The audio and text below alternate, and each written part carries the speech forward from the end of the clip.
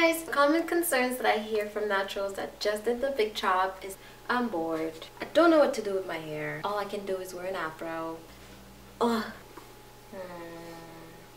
I'm tired of the afro. I don't have any style possibilities. Well, I'm here to let you know that you have options.